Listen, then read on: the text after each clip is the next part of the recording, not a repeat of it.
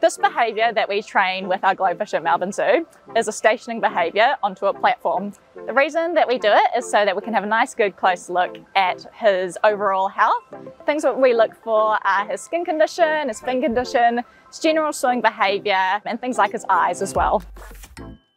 When he completes a behaviour, he's reinforced with a chunk of prawn, which is his favourite food, so it becomes a very positive experience for him.